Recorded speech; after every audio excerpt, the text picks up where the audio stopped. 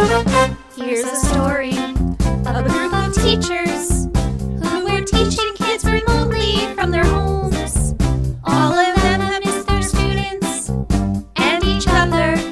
Yes, they felt so alone. It's a story of a group of teachers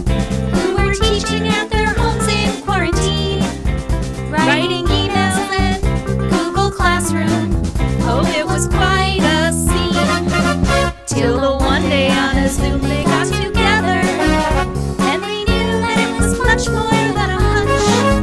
With the students they all love like a family. All together we will be the VC Bunch, the VC Bunch, the VC Bunch.